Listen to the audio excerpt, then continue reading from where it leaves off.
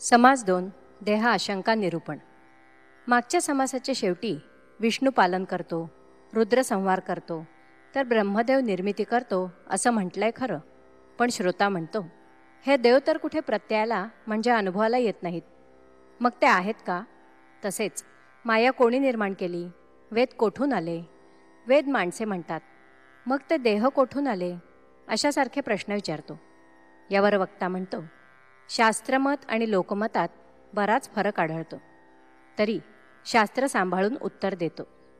श्रीराम स्वामीने विचार दाखविला येथे विष्णूचा अभाव दिसोन आला. ब्रह्मा विष्णू महेशाला उरी नाही.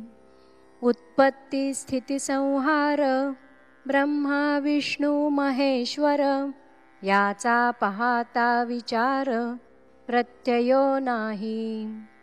ब्रह्मा उत्पत्ती चौमुखांचा येथे प्रत्ययो नाही त्याचा. पाळण करता विष्णू चौभुजांचा तोही ऐकोन जाणो.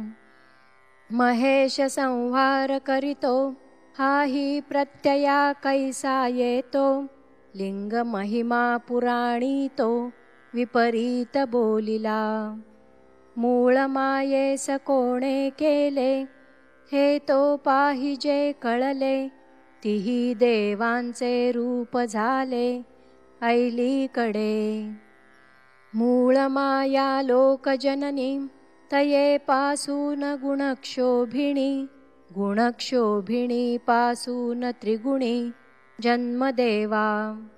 ऐसे बोलती शास्त्रकारक आणि प्रवृत्तीचेही लोक प्रत्यये पुसता कित्येक अकांत करीती।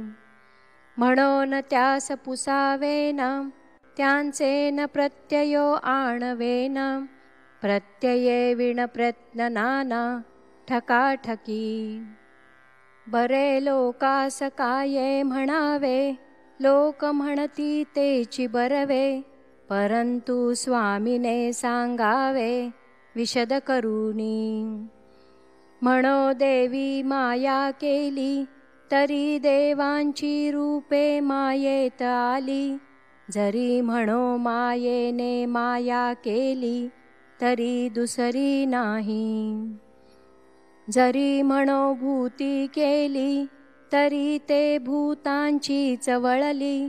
म्हणावे जरी परब्रह्मे केली तरी ब्रह्मी कर्तृत्व नाही. आणि माया खरी असावी तरी ब्रह्मी कर्तृत्वाची गोवी.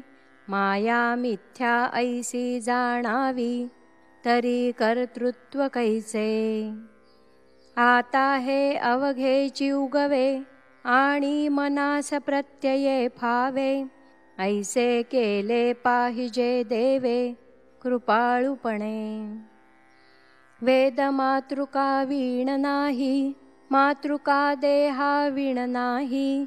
देह निर्माण होत नाही, देहा वेगळा. मातृका म्हणजे शब्द. सर्व अक्षरांचे मूळ ओंकाराच्या साडेतीन मात्रांमध्ये आहे. म्हणून वेद हे शब्दमय आहेत. तया देहामध्ये नरदेहो त्या नरदेहात ब्राह्मण देहो तया ब्राह्मण देहा सपाहो अधिकार वेदी. असो वेद कोठून झाले देह कासयाचे केले देव कैसे प्रगटले कोण्या प्रकारे?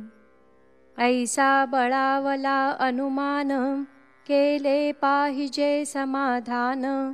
वक्ता म्हणे सावधान होई आता. प्रत्यये पाहता साकडी अवघी होते विघडा विघडी अनुमानिता घडी ने घडी काळ जातो.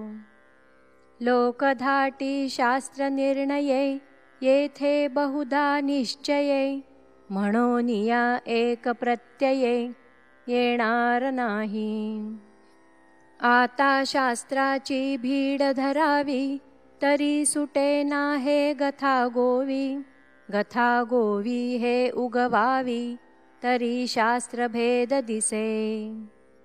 शास्त्ररक्षून प्रत्यये आणिला पूर्वपक्ष त्यागून सिद्धांत पाहिला शहाणा मूर्ख समजाविला एका वचने तथापि बोलो काही एक शास्त्ररक्षून कौतुक श्रोती सादर विवेक केला पाहिजे।